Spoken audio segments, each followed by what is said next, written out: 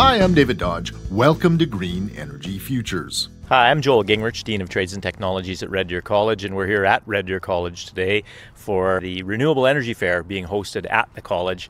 It's a Rethink Red Deer event that's helping to create some community awareness around alternative energy systems. I was invited by Rethink Red Deer to speak at the Renewable Energy Fair, but I was blown away by what I learned about what's going on at Red Deer College. There's been a massive initiative around alternative energy systems at the college, part of a larger plan, a green campus initiative that's been in the works for 10 to 15 years. But in particular, within the last year and a half, there's been a major investment into alternative energy systems. It's called the Green Campus Initiative or the Green Energy Master Plan. The goal? Reduce Red Deer College's utility consumption by 20%. There's over 3,600 solar panels that have been installed, 1.6 megawatts of solar production, as well as a, a, major 1 megawatt combined heat and power unit. So the combination of all of those, as well as some investment in uh, switching lighting to LED lighting, the combination of all of that, the energy produced and the energy saved,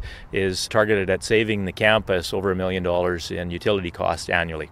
That's the largest rooftop solar system on any educational institution in Canada, and one of the largest rooftop systems in Western Canada. Solar is everywhere. The most dramatic is the west end of the campus, and that's uh, all of the flat surfaces on the Gary W. Harris Canada Games Centre that will be hosting the Canada Games in Red Deer in February of 2019.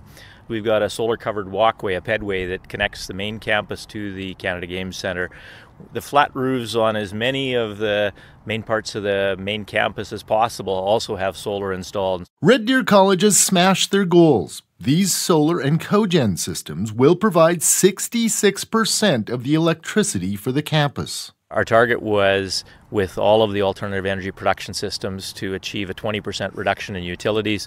We've already exceeded that, and we're starting to look at what would it take to become a net zero campus. The college is now looking at using organic waste to produce fuel as well. A core part of the campus initiative was building the new Alternative Energy Lab, where they can infuse training about alternative energy into the trades and other fields. We have 2,000 to 3,500 students a year just through our trades and technologies area that are going into conventional careers.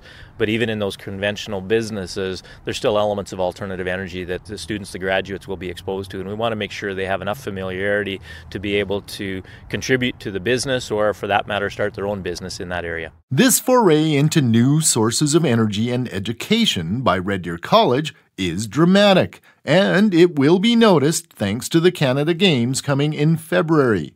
But the impact Gingrich sees goes well beyond the solar modules on the roof when we think about the impact that has on the operations, but more importantly, or as importantly, the impact it has on the culture and the thinking of those that pass through the walls and spend time with the campus, the partners, the students, the industry uh, members that do training. This is about helping people understand more about alternative energy and how they might implement that in their businesses, in their homes, in their communities.